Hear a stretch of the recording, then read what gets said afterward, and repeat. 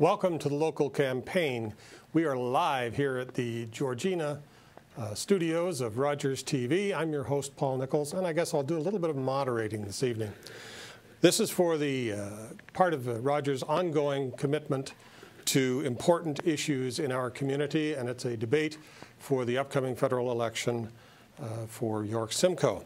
We are joined here tonight by three of the four candidates. One of the candidates, Mr. Vitale of the Green Party, was unable to make it to this evening uh, to our event. Um, I'll introduce the candidates in a minute, but uh, just a quick review of what it is that we're going to do tonight. We're going to try and get to nine questions. I'll do my best to shepherd things along, but you know, sometimes things get out of control. Let's hope not, but that happens. The way it works is uh, I will ask a question. Each candidate will have one minute to answer, and then we will have an open forum. And that open forum will conclude at the end of two minutes, and we'll carry on with the next question.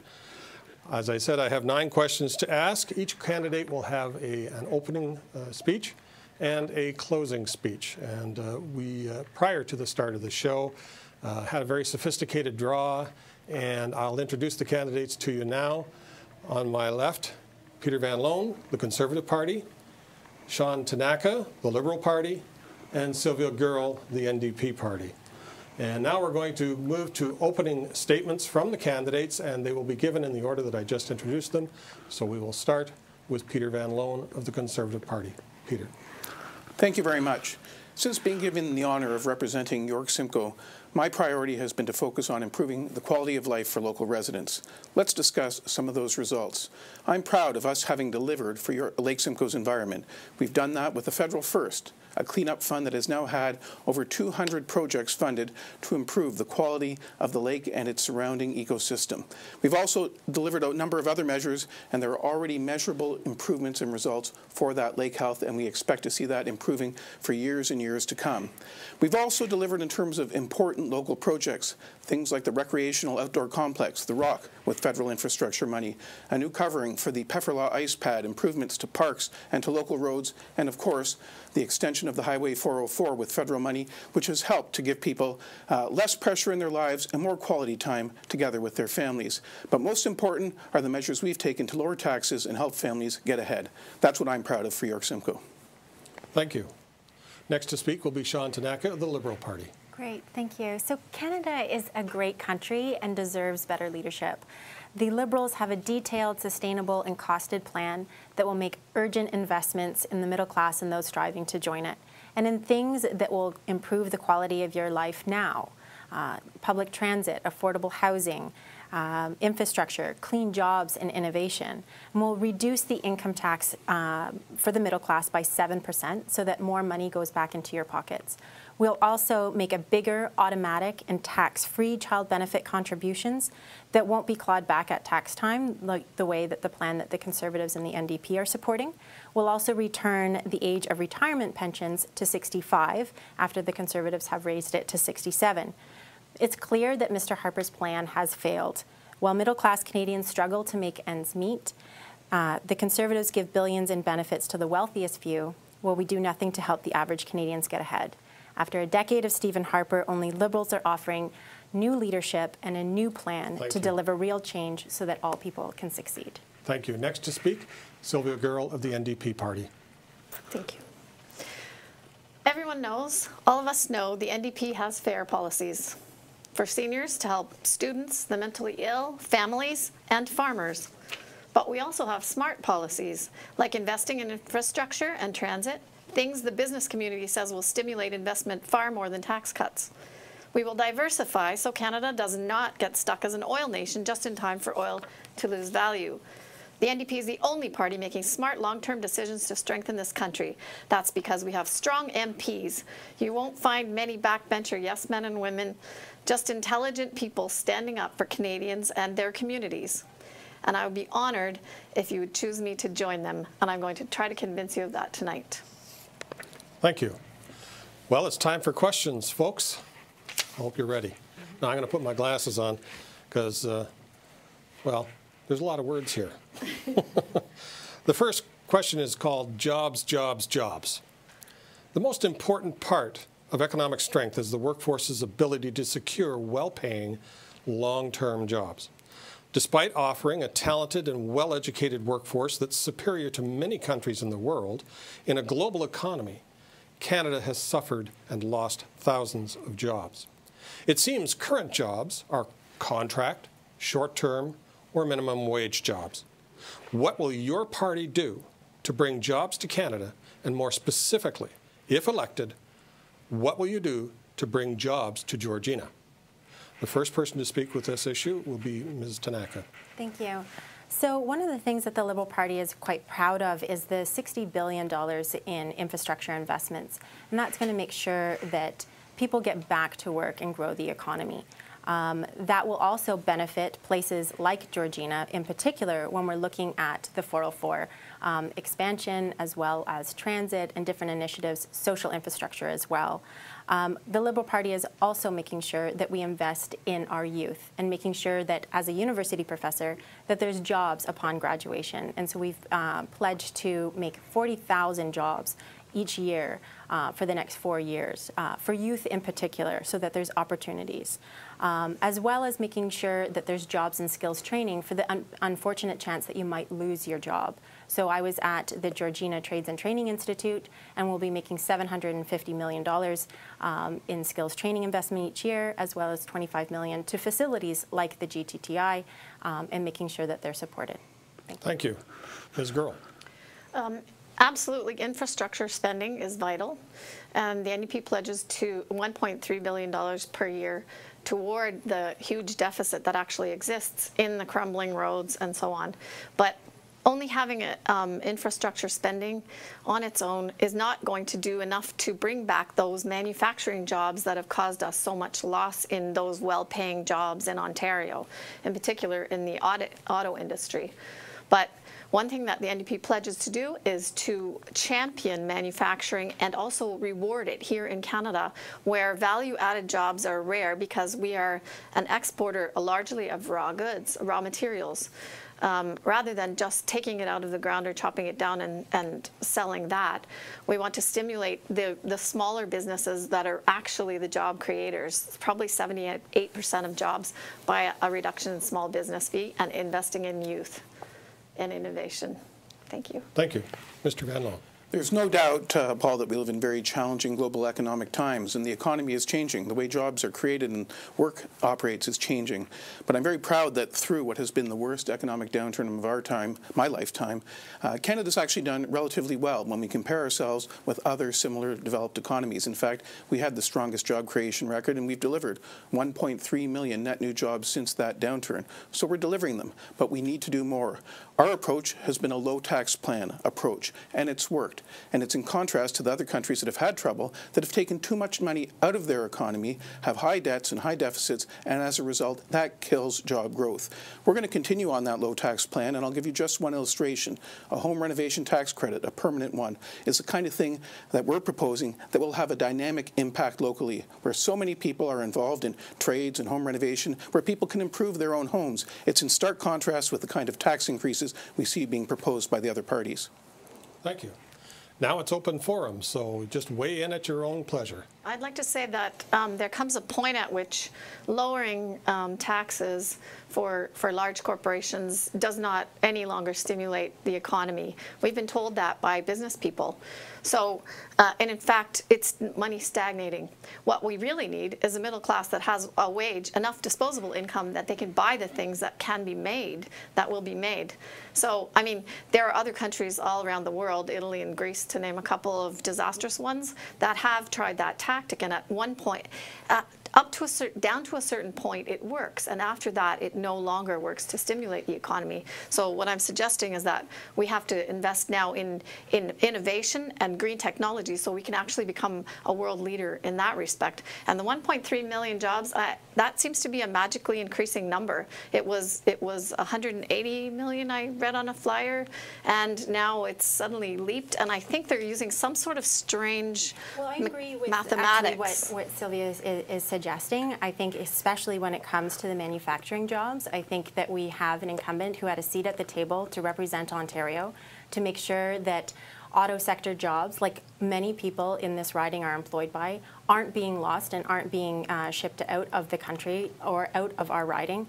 A lot of people in this community rely on those jobs, and our MP has an obligation to make sure that those jobs are protected.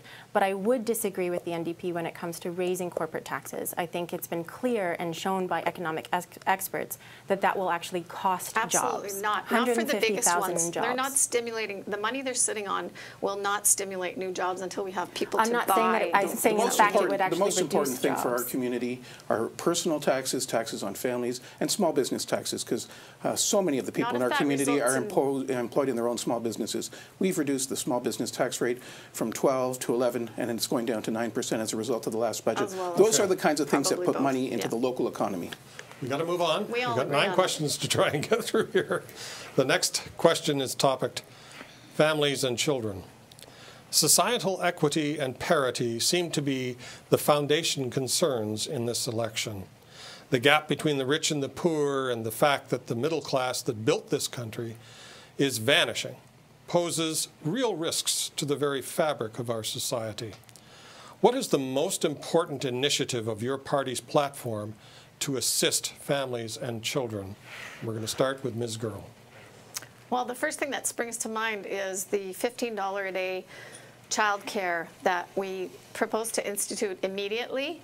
Um, I can't remember the, the full number of spaces. I'm sorry, I wish I could say that, but it's in the platform of the number of childcare spaces we will create, which also creates local jobs. But I'd like to answer that more fundamentally, and that is that um, many of, ND, uh, the NDP policies will help families because, as we have seen, the inequity between the rich and the poor continues to grow because wages have been stagnant and prices of goods have gone up. Addressing that from a, a variety of uh, angles is the most important thing. But because right now we have parents, both parents usually working, commuting from this riding, at least commuting long distances, we need to look at quality of life and childcare at a reduced cost is one of the most important building blocks for prosperity. Okay, thank you. Mr. Van Loan.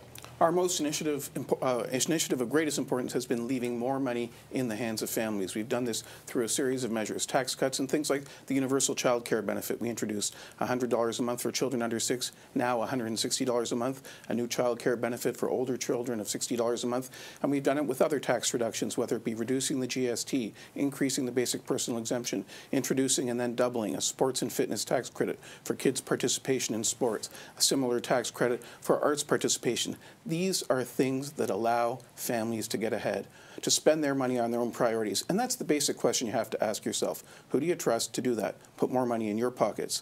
The party that delivered all those tax cuts and benefits or the parties that voted against them? And who do you trust to spend your money best for you? Is it best to send it to the government and let them decide what your priorities are? Or is it best that it stay in your pockets so you can choose your own priorities for your own future? We believe that you're the best person to make those decisions about how to improve your family's condition.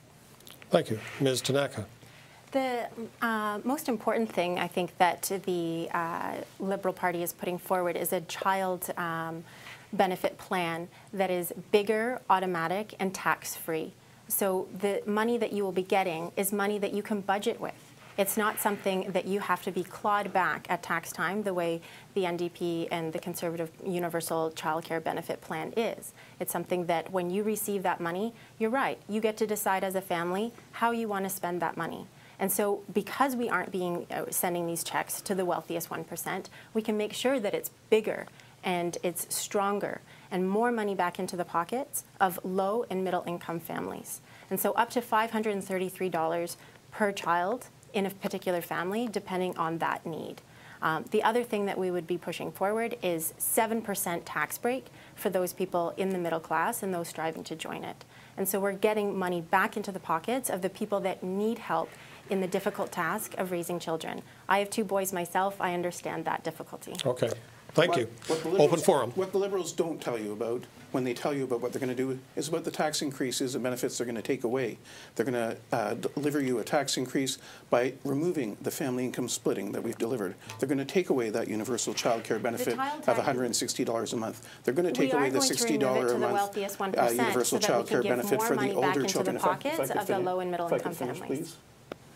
They are going to take those things away. She didn't tell you about that with her plan, nor did she tell you about their plan to deliver a $1,000 a worker tax increase through the support for either an expanded Canada pension plan or the Ontario provincial pension plan that Kathleen Wynne is proposing.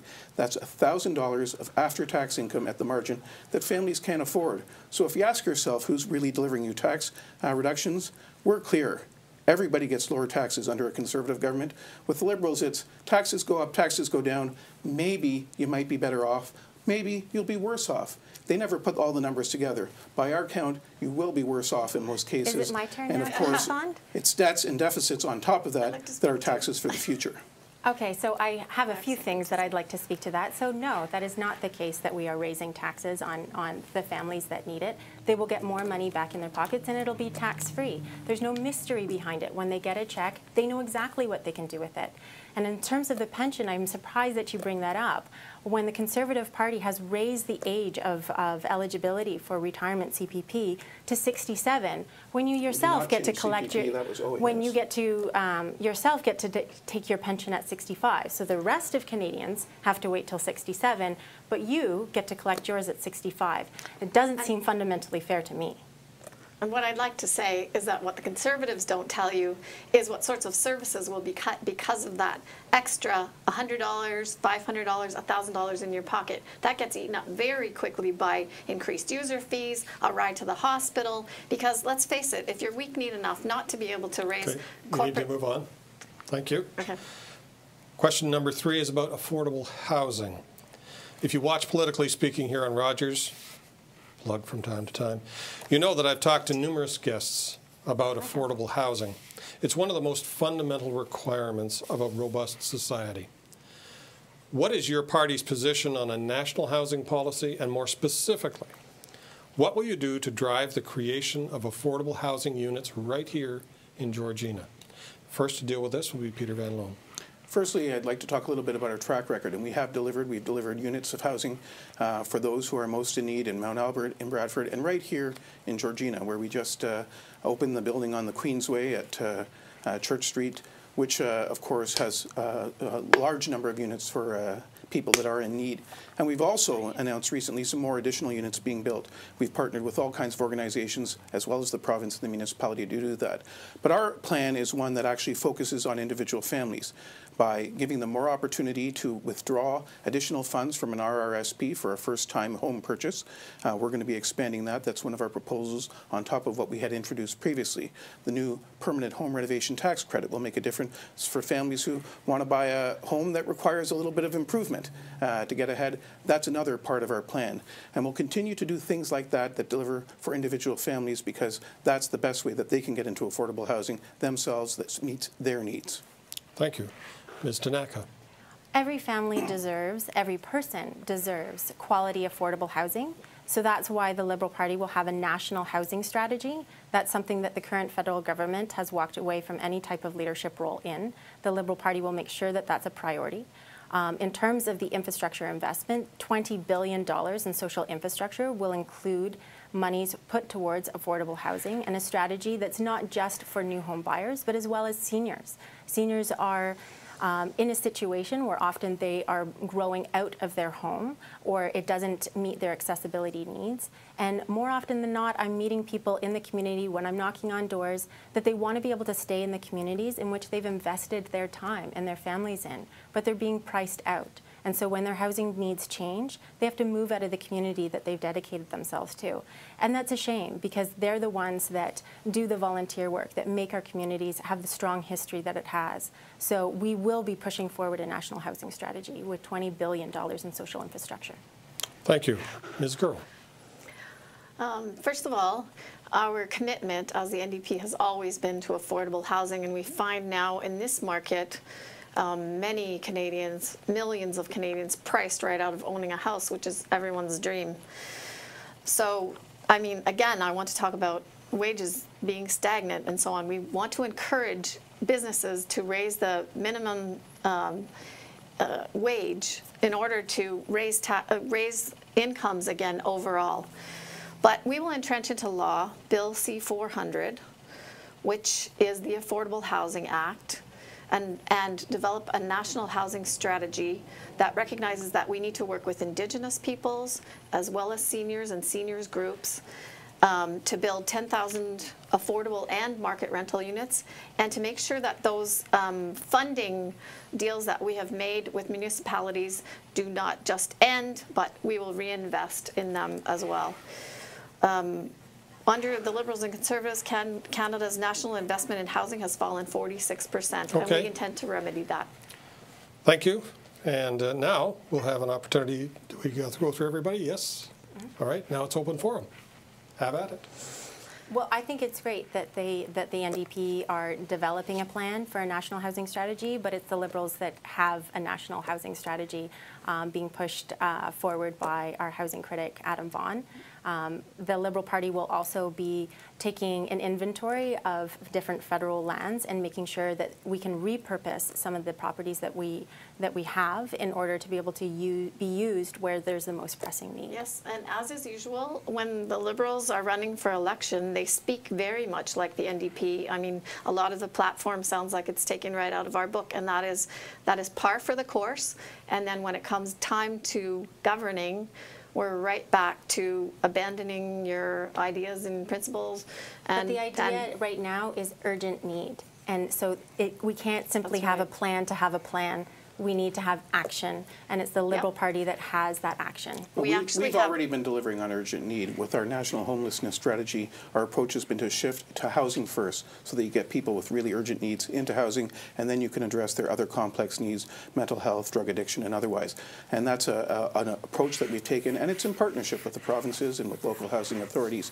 But in terms of this community and helping families in this community, our new permanent home renovation tax credit will make a real difference to their lives, to the quality of the home they live in. It'll help them to make it a better place to live. And already we delivered a seniors, uh, sorry, not just for seniors, for anybody, a home renovation accessibility tax credit in our last budget. And that, of course, gives an opportunity to allow seniors and others to stay in their homes longer and meet their accessibility needs. What's amazing is that the other parties voted against that very worthy initiative. Co-ops work very well here, and we're going to invest $2 billion in new co-ops.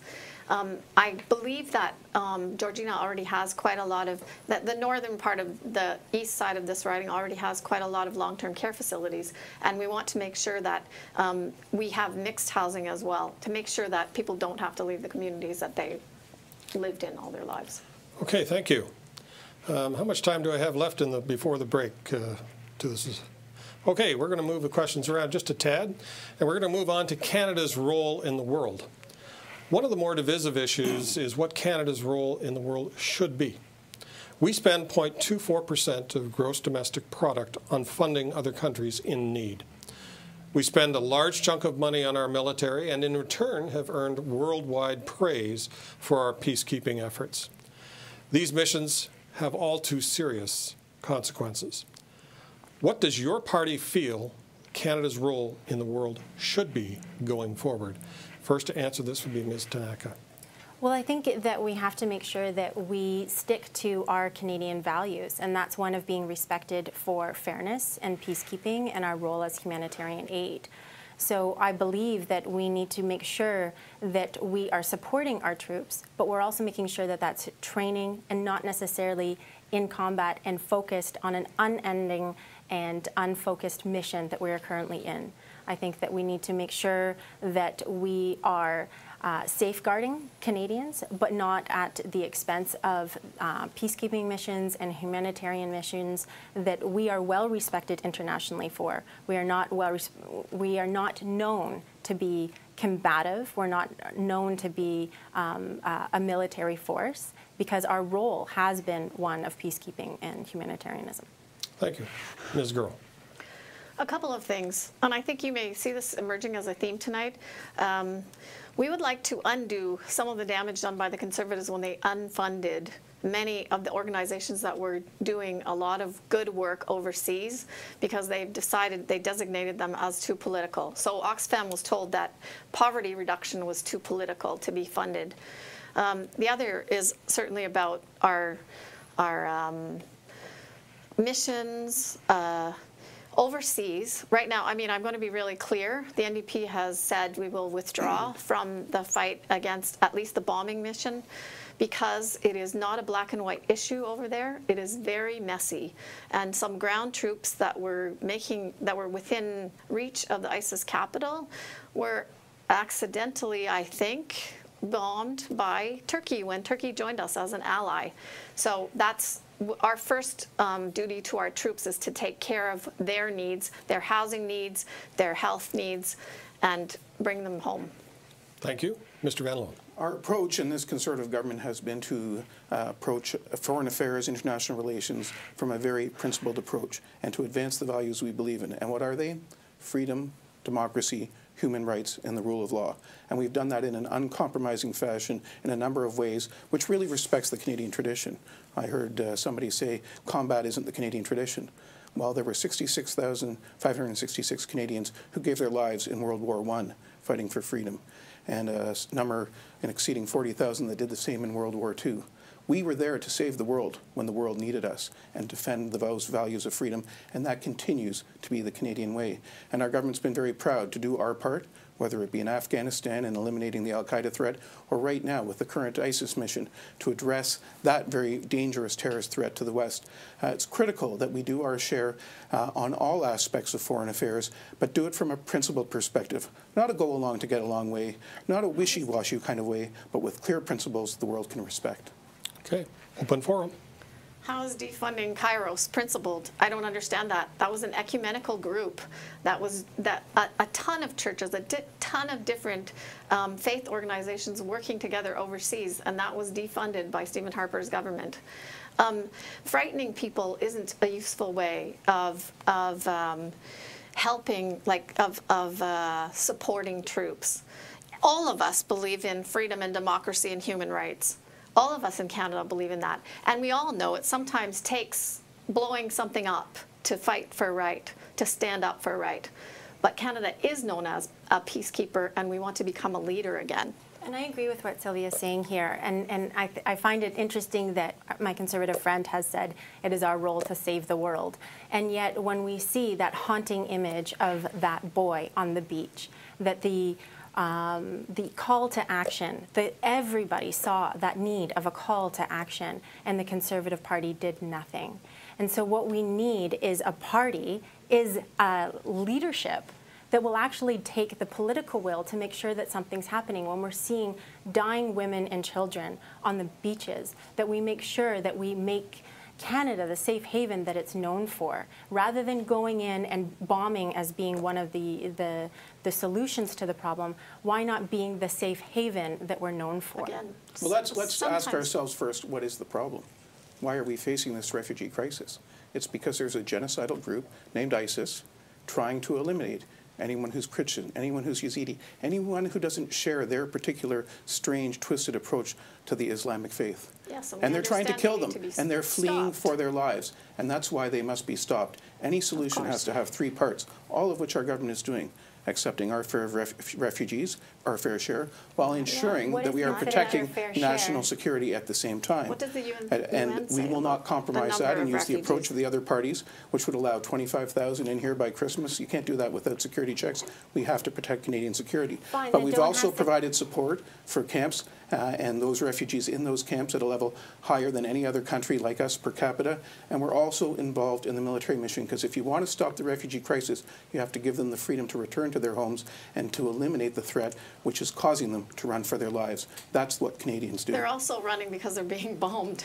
That because they're, they're, they're where they live is in chaos. I mean, the UN, we aren't taking in nearly, we aren't doing nearly as much as we can. People on the ground in Syria are saying if Canada were to send more experts, then we could process We- we've gotta- refugees quicker. Believe it or not, we're actually at the half. We're going to go and take two minutes to pay some bills and whatnot.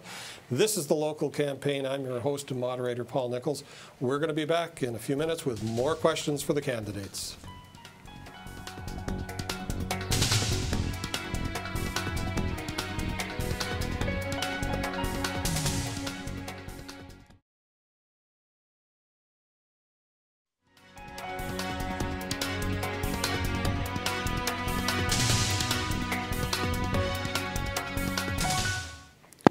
Welcome back to the local campaign here on Rogers TV. I'm your moderator and host, Paul Nichols. We have the uh, three of the four candidates uh, here this evening for live to air debate here in our Georgina studio. We'll go back to our questions where we left off. We've got, uh, I think, four more, five more to, to get through, and I know they're just chomping to get at the bit. Let's see. We'll call this funding your party's initiatives. One of the things I think people find frustrating is that each of the parties chirps about the other one's numbers and where they come from and that they're all not right. I would say it a different way, but not right. And, and I'm curious as what your party's speci specific plan is to fund the initiatives that you have. Very basic grassroots, take out that, put that in, you know, that kind of thing. And the first to deal with this will be uh, Ms. Gerl. Thank you. Well, I'm sorry to have to put it this way, but it really is um, a fully costed platform that the details of which you'll have to look up for yourself because there is, but largely, let me say this, largely the funding is going to come from A, stopping the large subsidies to um, oil and gas companies and banks that don't need it, they're posting record profits, and closing many of the tax loopholes. So I'm going to call it progressive tax reform that the NDP is proposing in order to get the money for $15 a day daycare, um, a $15 federal minimum wage, which is for federal workers, um, and um, the transit uh, funding, the housing funding, and all of the other things that we've talked about tonight. So it's a fully costed platform, and everyone can look up the details themselves. Okay, thank you. Mr. Van um, the NDP talk about uh, eliminating uh, subsidies to oil companies and banks, except for one problem. There are no such subsidies. We eliminated any oil, oil company subsidies, for example, when we became government back in 2006. So you're not going to get any money there. But from the Conservative side, what we can tell you is our track record is our track record. It shows you that we have been able to deliver on the promises we've made, and we've been able to deliver on balancing the budget, not just on the schedule we gave, but in fact one year ahead of schedule. So the track record of the Conservative Party is clear, and you can count on that into the future. We will continue to deliver balanced budgets while delivering the tax reductions we've uh, committed to give it to Canadian families. Now, the difference is from the other parties, you're both going to see from both of them uh, deficits. The Liberals, uh, Justin Trudeau, is promising to have $10 billion a year deficits. By our count, they're going to be closer to 30 or $34 billion a year. And same from the NDP. And the problem is, this is not a time when we can afford to go into deficits like that. That would be too harmful to our economy. Thank you. Ms. Tanaka. So the conservative government, or the conservative government, has their numbers wrong. It's the Liberal Party that will be investing 60 billion in uh, infrastructure investments, the biggest in Canadian history. And the way that we're able to do that is, it's true, being very open and transparent in saying that we will run a deficit, a modest deficit, for three years in order to build ambitiously, to kickstart the economy, to get people back to work, and to get more money back in the pockets of average middle class Canadians and low income Canadians. And so part of our way of also doing that is asking the wealthiest 1% to pay a little bit more so that people in the lower and middle income brackets can pay a little less. And so that will also help um, fuel the drivers of growth and put the money back where it belongs, which is in the average Canadian that's working harder than ever to get ahead, um, but is struggling.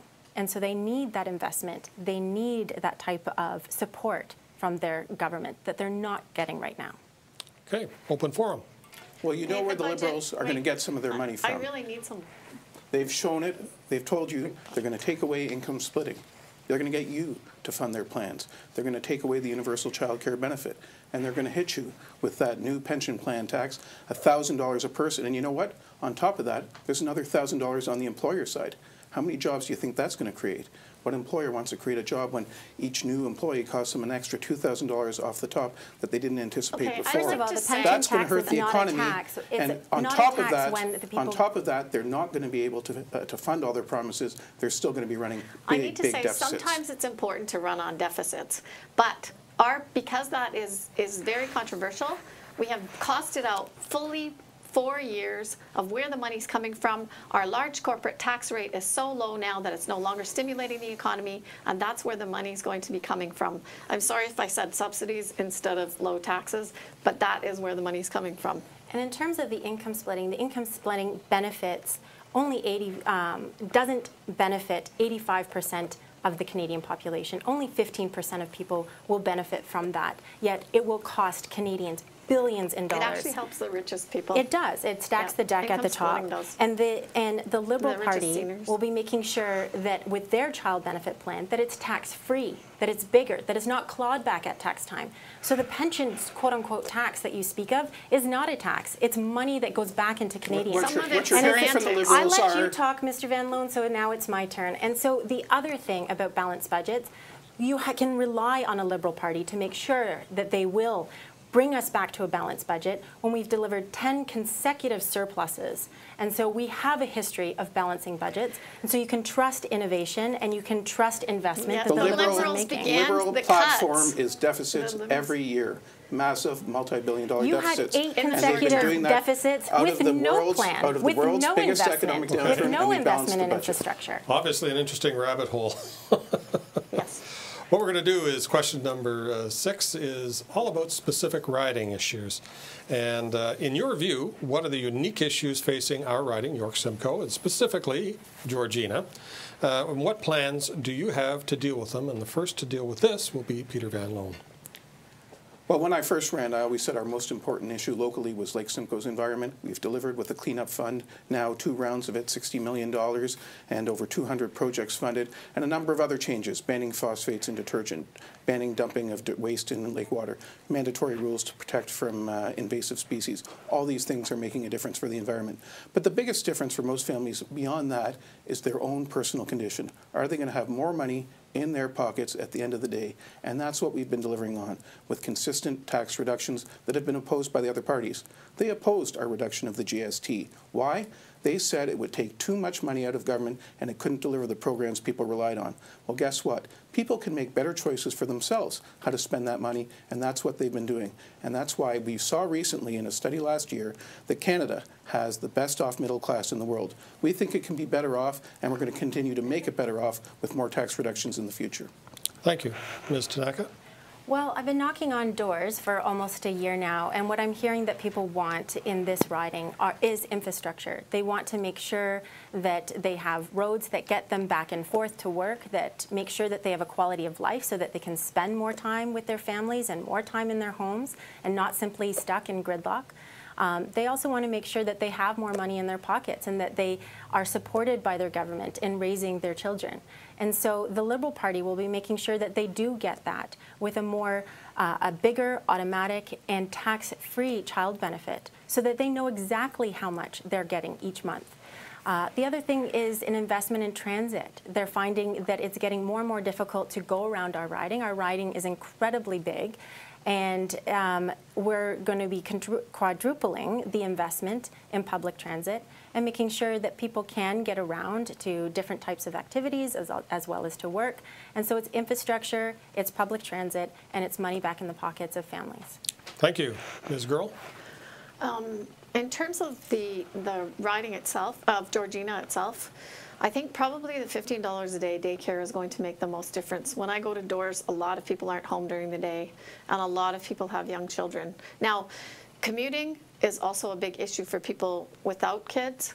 Um, uh, many people drive hours to work, so our many of the NDP policies will help with that. I mean, the the um, improving infrastructure. I mean, the 404 coming north is terrific. It saves a few minutes on the drive, but really it brings as many problems as it, it solves. In that, um, this is now seen as a great place to have more development. I mean, this is set to be the biggest growth area of Canada in the next 10 years.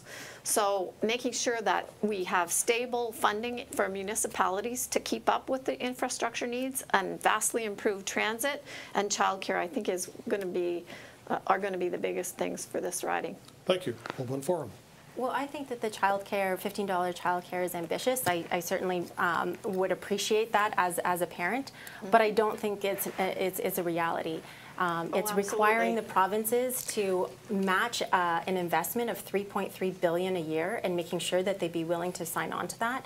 And it's been found that those childcare spaces of a child born today, it'll be eight years before they're able to have that childcare space It's the be next put building blo- effect. block And in a so civil I society. don't, I, I agree. I agree the intention is there. Will we see it as a reality? No. Yes.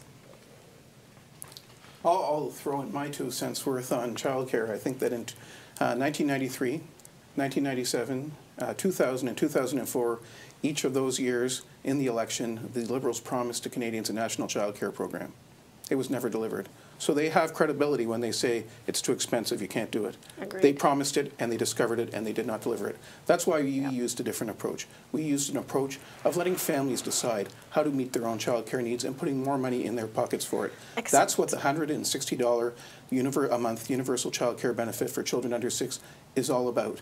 And that allows families to make those decisions for themselves. You don't That's understand something- the reality That's of something that the Liberal Party wants to take away is do uh, it. from I families agree with and Mr. take Van away their opportunity to meet I agree child with care Mr. Van needs. Loan that you need to get more money back in the pockets, and I, and I also agree that they should be able to use the money how I they want. And so that means getting money back in the pockets, but not being clawed away back at tax time. That they should be able to be given it tax-free, that it's automatic, and you take out the mystery of it. It's not a bribe before an election. It's something that's in your pocket that you can decide how you want to use that, whether it's with, with childcare or whether it's for just m- making sure that their daily needs are met in terms of getting food on the table. Because that's With the reality too. It's not about always about sports and fitness child. tax credits. It's sometimes literally about getting food on the table to families.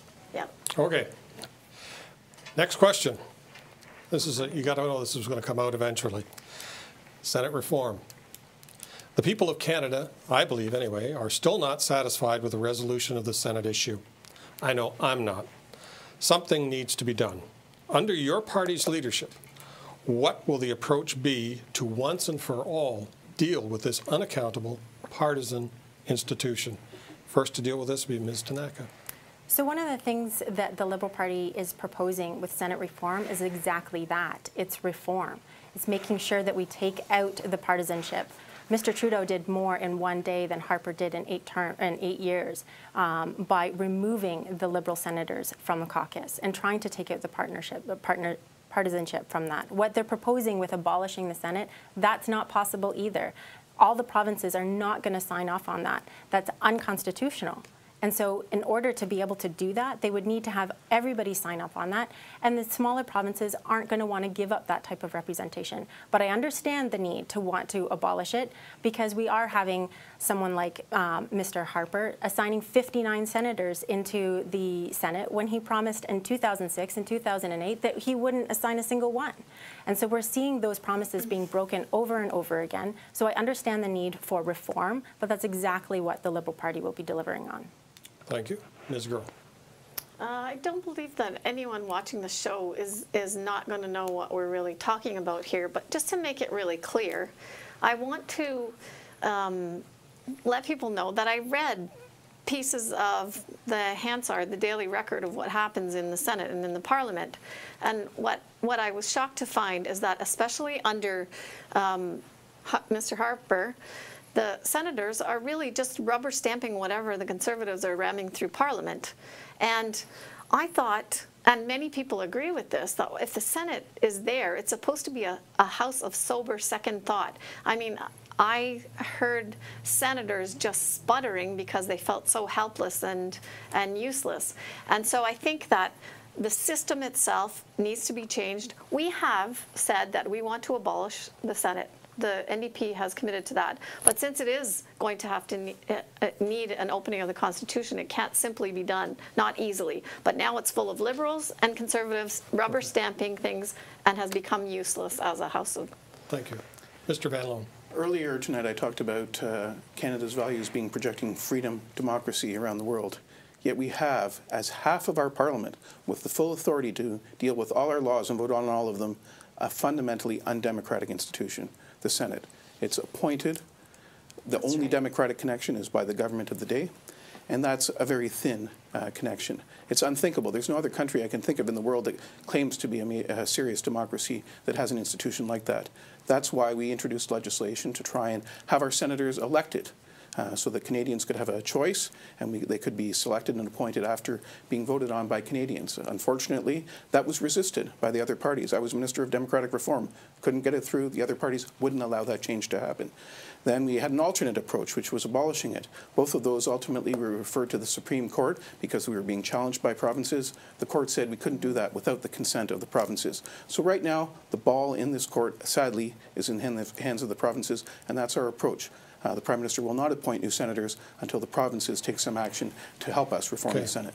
Thank you. Open season. He said now that he won't appoint any more senators, but Yeah, not before before. appointing more than, he, he said he wouldn't appoint any, and he's appointed more than any other prime minister And I think it's ever. interesting that, that Mr. Van Loan had talked about before about Canada being a country that is a rule of law, and yet we're seeing our Prime Minister trying to contest that over and over again by changing constitutional things like our Senate. And so I understand why there's a need for democratic reform when we're having senators like Duffy and people in there that have a certain level of entitlement that we are now getting uh, witness to in the media, and we're seeing exactly the type of shenanigans Yeah, that but go you can't speak of entitlement without thinking of the liberals. I'm sorry. It's this once once you're entrenched, that's going to happen. I'm really glad to have this chance to talk about the system because I think that our parliamentary system is shared by three other countries in the world. The U.S. Many more than that. But- more but Can- complicated in the U.S. and Canadians India, but don't this accept essential an undemocratic voting Senate. system.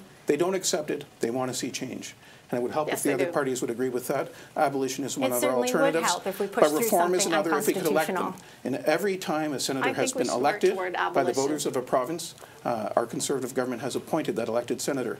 And when the Liberals talk about Justin Trudeau having reformed the Senate, well, changing them from Liberal senators to Senate Liberals is hardly a reform. If That's the kind of smoke and mirrors that we've gotten used to from the Liberal Party, No, the pretending to and do mirrors things is that we're trying don't. to have openness and transparency, and what we're used to now is a government that is secretive and that is self-serving. And we, our, our objective as a Liberal Party is to serve the public. That's the whole role of a member of Parliament, is to serve your public. It's not about entitlement. It's not about complacency. It's not about changing our democratic system and changing our Senate and changing the actual foundation it of When is. Canadian senators are not accountable to voters, who do they serve? We have all That's the agreed. problem. Who do they serve, They sir? Because that's the other thing. the voters, person We all that they agree it serve needs is- is change. fun- Is fundraising for our agree it prime Okay, minister. we've got to move on.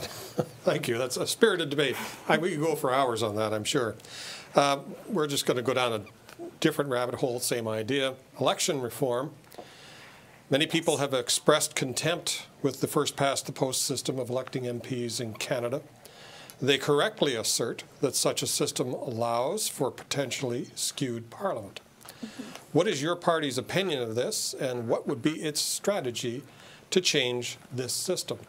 First to speak to the, this will be Ms. Gerl. I really appreciate the opportunity to talk about this because the NDP is firmly committed to bringing in mul- um, mixed member proportional representation.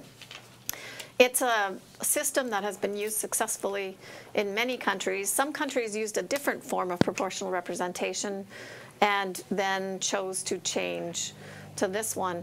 So I think it's fundamentally unfair when a government runs on less than 40%, has a majority with less than 40% of the popular vote. So 40% of 60% of Canadians can vote against the ones that end up running the place. And the way that this last parliament has behaved has illustrated some of the greatest dangers in it because we've had no recourse in stopping huge omnibus bills hiding tons of damaging things. And um, we have a firm commitment to bring in proportional representation. Thank you. Mr. Van You know, uh, a lot of academics make a great career of uh, coming up with new electoral systems. I'm actually uh, pretty impressed with the system we have. I think it works. We have one of the longest running constitutions in the world, one of the longest running democracies in the world, arguably the best country in the world. I think that these are actually related. Part of our system, part of its strength, is that it allows for each member of parliament to be accountable to individual voters. They represent part of this country. They are accountable to the voters of that particular area. It helps bring the country together. It creates a force where when those people then come together in caucus, they speak about the people for whom they represent, the communities they represent. And I think Canadians agree with us because there have been several referendums, including one right here in this province of Ontario, where they've put forward other approaches, other legislative systems and those suggestions, and voters have consistently rejected those time and time again. And I think that they are demonstrating that they believe that this is a pretty good country. Democracy works pretty well here, whether we win or lose under the system. What it creates are stable governments that can make decisions and get things done and keep the country together. Thank you. Ms. Tanaka. Well, with the current uh, system and the so-called Fair Election- Elections Act, we're disenfranchising people. I agree with um, with Sylvia that I think that electoral reform is necessary. That this would be uh, the Liberal government's last. Um, uh, say in a in a first past the post um, type of election, we would be committing ourselves to passing legislation if we were to form government within 18 months to make sure that that's not the case. We would also be um, meeting with experts and, and the academics that uh, that he begrudgingly uh, speaks of to talk about ways that we could do that to engage people that aren't voting right now, whether that's being able to vote online, whether or not that's mixed proportion, or whether or not that's another way uh, of voting, but making sure that the votes count. Every vote should count. And so we need to make sure that we're making it as easy as Canadian on Canadians as possible. Of course, it doesn't suit the current uh, the current government to change that. Um, if we enfranchise the people that haven't had a voice, I think we'll start seeing very, very different elections, particularly in this riding. Okay. The Liberals want to meet with experts, talk to them about what system to have, and Yes. then pass a law We to implement the to. system. Those aren't the people they should be talking to. It's ordinary Canadians. You That's should not right. make a fundamental say change to our system without putting it to a vote of the electors. There should be a when- referendum when- to have any change in the system. The Liberals refuse to agree to that. And that's because any time it's been put to the voters, they have rejected it. And that's a reason why people should be concerned about that aspect of the hidden agenda The agenda Conservatives of have the made it Liberal more Party. and more difficult for people to be able to vote. That's just plain and simple. And if we have progressive people voting, then they're not going to be voting for a conservative government. They're begin- going to be voting for change. Importantly, when, when Ontarians were asked whether they wanted proportional representation, those that, that marked no were asked in a survey afterwards why they marked it no, and it's because they didn't understand. It is easy to teach people what it means, and I think we'll see far more people voting. Okay, thank you. That's the end of our questions, folks. We're coming back now for the closing statement. And we started with Peter. We're going to start on this with uh, Ms. Gerl. This is your closing statement. Oh, sorry. I'm, I was wandering off in my head. I'm sorry, I do that a fair amount of time. Um, in this election, Canadians for the first time have three real choices in a neck and neck race. You can choose the conservative, us and them tactics, using fear and terror to manipulate you, and their obsession with tax cuts that mean even effective and efficient, and programs that save you money are cut. Or you can vote for Liberals again. Sure, their platform sounds quite NDP. It's an election after all. But just six months ago, they were voting with the Conservatives, abandoning their policies. I have always fought for fairness. NDP principles and plans do not waver. I'm ready to be your ear in York Simcoe and your voice in Ottawa. Which party do you think really stands for progress and change? In a three-way race, there is no need for strategic voting. This time, choose what you have always wanted, the Canada you want to see. Thank you. Thank you, Ms. Gerl. Ms. Tanaka. Sure. This election is about our future, and Canadians know that better is always possible. My conservative, my conservative incumbent runs on the slogan "Change for the Better." But I ask you, where's the change? Where's the better? A Liberal government will put more money in, the in your pockets by cutting income tax for the middle class by 7%. They will also be putting more money in the pockets of Canadian families by producing a new Child Canada Benefit Plan that will be tax-free, that will be bigger, and that will be automatic. We'll also invest in seniors by returning the retirement age back to 65 since the Conservatives raised it to 67. We'll also have a national housing strategy where seniors and all people can find affordable quality homes in their community.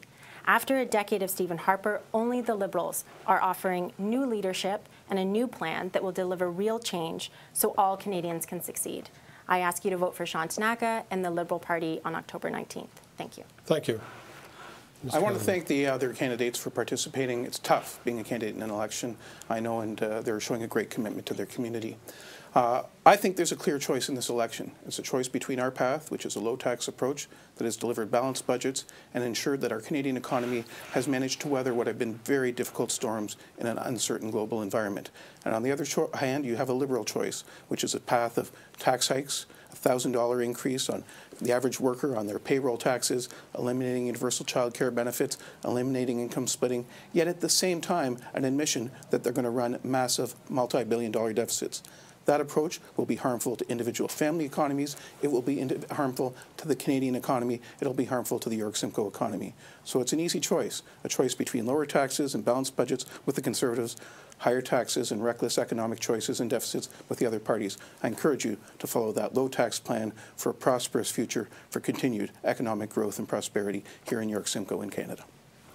Thank you very much to the candidates for putting your names forward for election and for taking part in the uh, debate tonight. Uh, I've always said to our guests, for the people out there in the audience, this is the fastest hour in television, and you want to know that. On election night, October 19th, you can join uh, Rogers TV for GTA Votes 2015. Coverage starts at 9 p.m. Let's have fun. Let's all go and vote. Let's campaign, and good luck to all of you. Thank you. Good night.